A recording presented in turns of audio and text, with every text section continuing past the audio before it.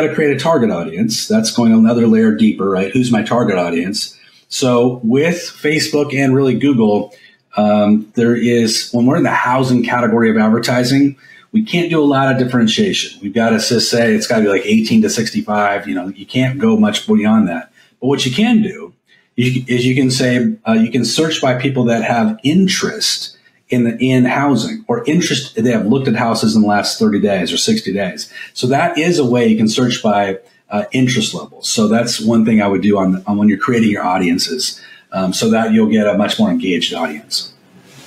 Yeah, I heard that recently where, you know, Facebook is really smart at figuring that out based on whether they've been on Zillow or they've been on realtor.com and they kind of know where else they're searching to pull together that target audience. Um, 100%. For, and I think for this, because, you know, some people who are like, man, I want to implement this in my business, but I'm already like a little bit overwhelmed. I think, and correct me if I'm wrong, that Facebook does like prompt you through this. Like if you have an idea, yes. it will literally be like, we want this data. Click next. Is that? Yes, it's very, very. I wouldn't call it simple, but it is very point and click. If you've, if you're able to navigate your MLS, you're able to navigate Facebook Ad Builder. It's not that complicated. It will okay. maybe take you a minute or two, but there's also you know something to be said for some people that um, are just like have a, a fear of technology almost.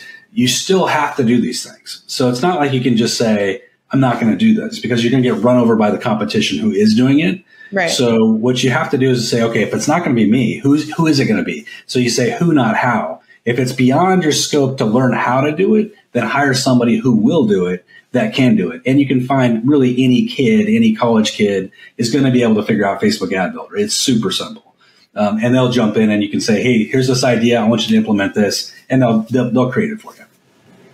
Okay, so to bring it back, if you were starting over today, you would embrace technology in the form yes. of an example using technology to generate leads and that marketing piece of your business using both buyer and seller lead magnets through an example being Facebook ads. Yes. And question with the ad. So, you know, they've walked through, they've clicked the buttons, whatever we're set up.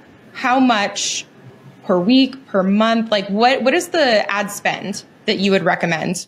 Not much. I mean, uh, for me, it would be, um, I would, you always want to be testing it and, you know, seeing what works and what doesn't work. I'd start at $5 a day. So $5 a day times 30 days is $150 a month. That's a really good starting point for, for a lot of agents. And then if you see traction though, and you say, Hey, I, I, got three buyers that were live buyers that I was able to start working with, and it's really gaining traction every week. Then I would ramp it up. I'd say, okay, let's go from 150 to $300 a month. Now let's go to $600 a month. Just ramp it up as, as it gets bigger and bigger for you. Yeah, that makes sense. It's um, red light, green light. You know, red kind light, of. Green light. Exactly. you, you hit the hit the gas pedal a little bit. Is this working? Pause. You know, and then right. then push the gas a little little harder there. Okay, gotcha. Exactly. So I'm at the point. I understand how much I should do for ad spend in the beginning, and then uh, so this ad is going out to the target audience that you've decided on Facebook and people are clicking. And you mentioned instant form on Facebook, not direct to a website. What is your reasoning behind that? You, because you'll, you'll, lose some people between the point that they click and they say, uh, okay, now I'm going off of Facebook. In fact, Facebook kind of puts up a little bit of a wall and it will say, you're now leaving Facebook. And people are like, oh, I don't want to leave Facebook. I want to stay on Facebook. So you want to make it super easy and I would call it frictionless so that they don't have any friction in, in filling out the lead form. They can just fill it out on Facebook. They can then you captured their lead, and then the next step is they get the link, and it will still take them off the off the website at that point. But at that point, you've already collected the lead, so you've already got the lead. That's the difference, and it's a big difference. It'll it'll it'll probably increase your lead capture by a minimum of twenty percent, in my opinion. Yeah, friction, making it as simple as possible in pretty much everything in real estate. If you make it easy for people, they're way more likely to do do the thing.